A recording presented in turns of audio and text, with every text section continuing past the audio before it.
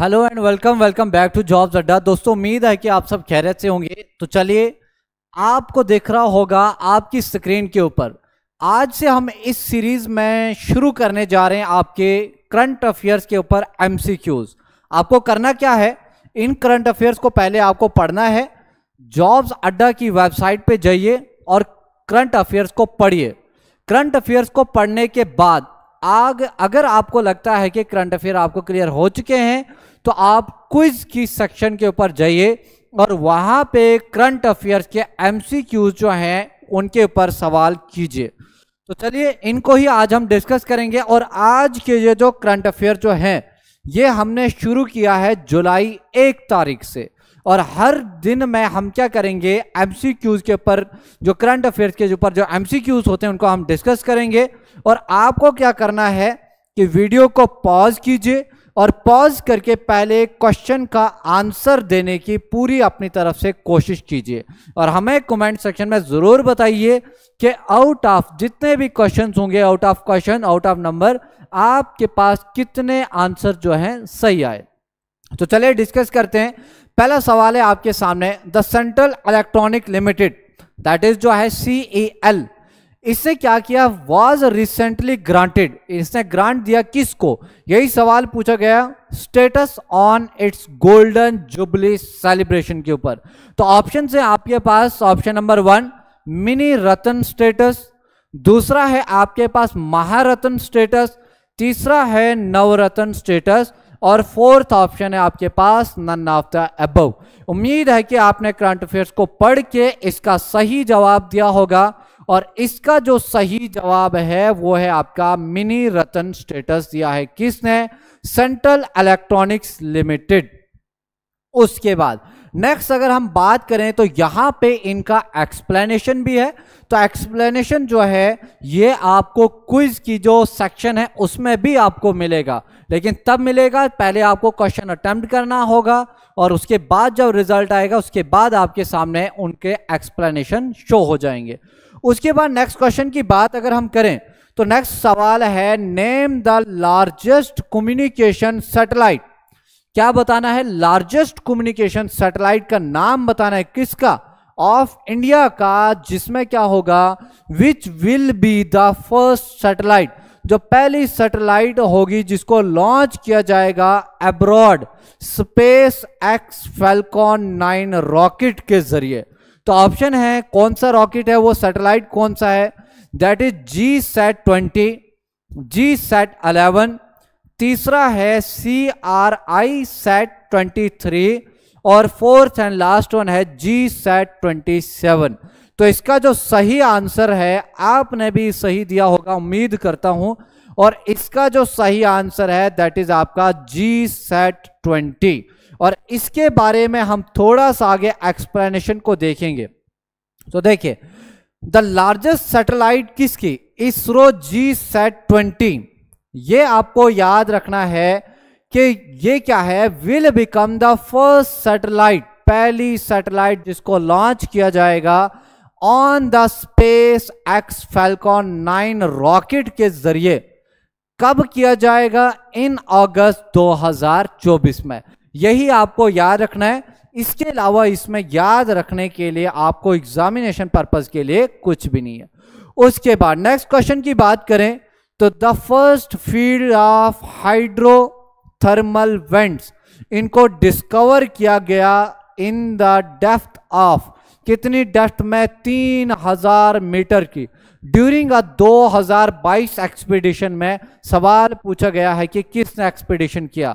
तो option number one है हमारे पास मारिया एस मैरिन दूसरा है लुकाटो एस जूलियन तीसरा है जम्मी यू लोर और लास्ट वन है नन ऑफ़ द अबव तो इसका जो सही आंसर है दैट इज़ आपका option number one that is Merian S Maria S Merian इन्होंने ये एक्सपेडिशन लीड किया था 2022 में। जैसा कि आप इधर इसमें देख सकते हैं इसके एक्सप्लेनेशन में भी। उसके अलावा नेक्स्ट क्वेश्चन की बात करें तो रिसर्चर्स ने क्या किया? रिसर्चर्स कहाँ के? Researchers from India have recommended क्या इन्होंने रिकमेंड किया कि रिप्लेस करना है किसको? That is oral glucose that is tolerance test जिसका मतलब दैट इज़ इन फॉर्म में शॉर्ट फॉर्म में ओ जी टी टी और किसके साथ रिप्लेस करना है, किसके लिए?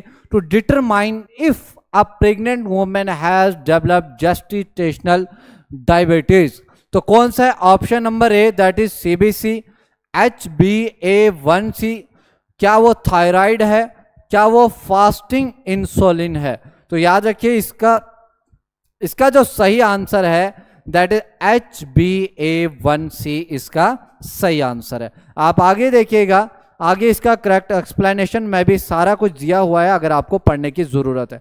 यहीं पे अगर हम बात करें इंपॉर्टेंट है, आपको जानना ज़रूरी है that is O G T T तो जो होता था टेस्ट ये क्या करता था? It measures how well the body can process large amount of sugar याद रखिए ओ जी टी टी जो टेस्ट हुआ करता था, ये क्या करता था? मेजर करता था कि आपकी बॉडी में how well the body can process large amount of sugar लेकिन अब जो टेस्ट लाया जा रहा है, जिसको रिकमेंड किया गया that is H B A one C ये क्या है? Test it is a type of blood test ये एक ब्लड टेस्ट की टाइप है। दैट शोज़ जो हमें बताएगा your average blood sugar level तो ये है दूसरा आज का नेक्स्ट इंपॉर्टेंट एमसीक्यू उसके बाद नेक्स्ट क्वेश्चन की बात करें तो सवाल पूछा गया है इंपॉर्टेंट सवाल है कि 300 फैमिलीज़ जो हैं रिसेंटली उनको क्या किया गया?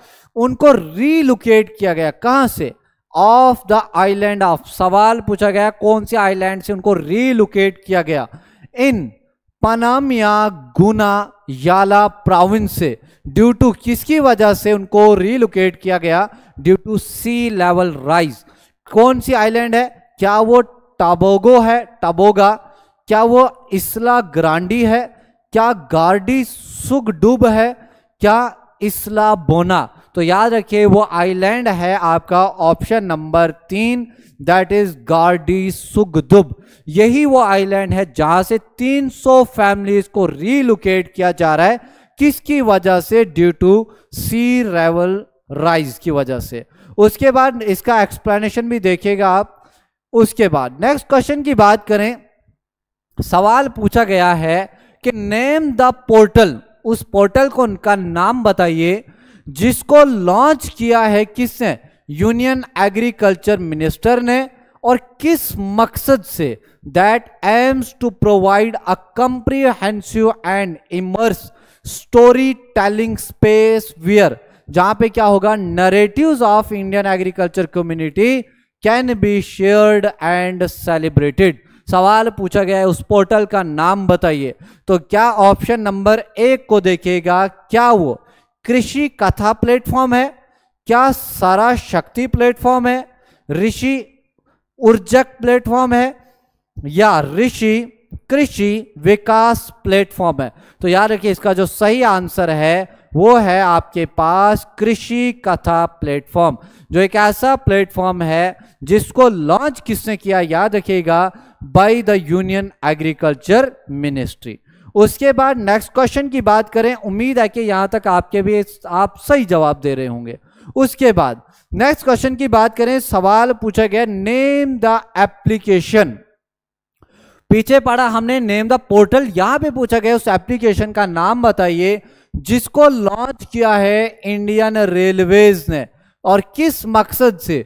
Aimed at educating and empowering RPF personnel जिसका मकसद है एडुकेट करना और एम्पावर करना। किन को? आरपीएफ पर्सनल्स को।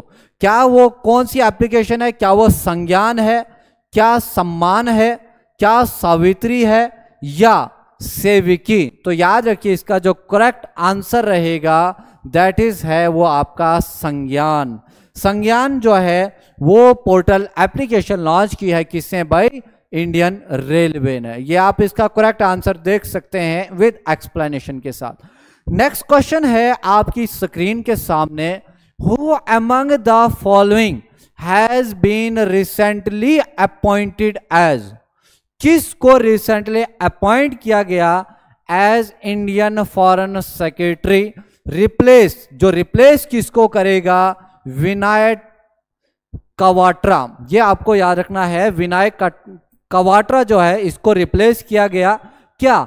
एज इंडियाज फॉरेन सेक्रेटरी क्या वो विक्रम मिश्री है, जगमोहन दास है, विनीत सागर है या गोविंद सागर? तो उम्मीद है कि आपने भी सही आंसर दिया होगा और इसका जो सही आंसर है दैट इज़ विक्रम मिश्री। विक्रम मिश्री के बारे में थोड़ा सा हम जानेंगे एक्सप्लेनेशन में। मोस्ट इंपॉर्टेंट पर्सनैलिटी है। सुनिए, the union government of India जिसने रिसेंटली अपॉइंट किया किसको? विक्रम मिश्री को मिश्री को as India's new foreign secretary. और रिप्लेस किसको करेगा? विनय मोहन कवाट्रा इसको रिप्लेस करेगा। और कब से करेगा? जुलाई 15 2024 यानी कि आज है 16 तारीख, और पिछले कल इसने ऑफ़िस को एज्यूम किया होगा। विक्रम मिश्री जो है, ये है कौन? An I F S officer from 1989 batch का और प्रीवियसली इसने सर्व किया है as private secretaries of three PM याद रखो, तीन प्राइम मिनिस्टर को इसने सर्व किया। कौन कौन? दैट इज़ नरेंद्र मोदी, दूसरा मनमोहन सिंह और तीसरा एंड इंद्र कुमार गुजराल। और इसको किसके लिए जाना जाता है? He is known for his expertise in China ये आपको याद रखना है मोस्ट इंपॉर्टेंट करंट अफेयर का ये एमसीक्यू है। उसके बाद नेक्स्ट क्वेश्चन की हम बात करें। सवाल क्या पूछा गया? कि who among the following release the global liveability index 2024 दोस्तों, ऐसे ये जो सवाल होते हैं, ठीक है इंडेक्सेस को लेके जो आप सस्टेनेबल डेवलपमेंट गोल में पढ़ते हैं या जब आप वर्ल्ड बैंक को डिस्कस करेंगे या आईएमएफ बैंक को डिस्कस करेंगे या हु को करेंगे जैसे आपका World Health Organization I L O International Labour Organization तो वो जो इंडेक्सेस जो प्रोवाइड करते हैं रिलीज़ करते हैं, ये एग्ज़ाम में बहुत बार सवाल पूछे जा चुके हैं। यहाँ पे पूछा गया कि इस इंडेक्स को रिलीज़ कौन करता है? क्या ई यू आई है? क्या वर्ल्ड बैंक है? क्या एनडीबी है? या आईएमएफ बैंक है। तो याद रखिए, इसके रिलीज़ करने वाले हैं that is E I U उम्मीद है कि आपने भी इसका सही आंसर दिया होगा। और ए आई यू को देखिए, क्या है? The Economics Intelligence Unit has recently release इन्होंने क्या किया? ग्लोबल लाइबिलिटी इंडेक्स 2024 का। उसके बाद नेक्स्ट क्वेश्चन और इस सीरीज़ का, आज के लेक्चर का आखिरी क्वेश्चन है ये।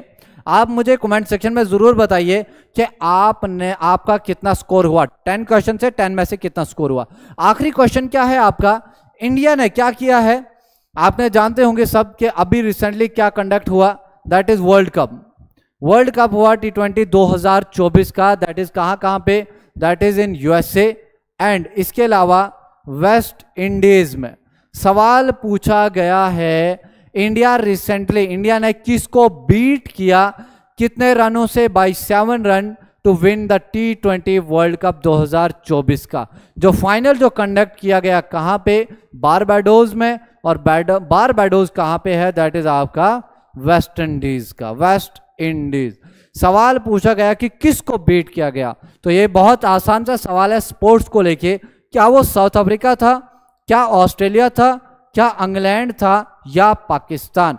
तो इसका जो सही आंसर है, वो है that is South Africa South Africa को इंडिया ने हराया। वर्ल्ड कप का फाइनल में सात रनों से और जीता क्या? टी ट्वेंटी वर्ल्ड कप का टाइटल आपके लिए एक सवाल है यहाँ पे कि बताइए इंडिया ने पहली बार इंडिया ने पहली बार वर्ल्ड कप का टाइटल कब जीता? वर्ल्ड कप टी ट्वेंटी वाला।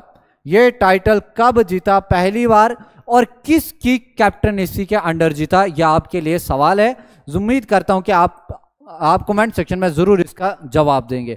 मिलते हैं अगले एक शानदार सी वीडियो में।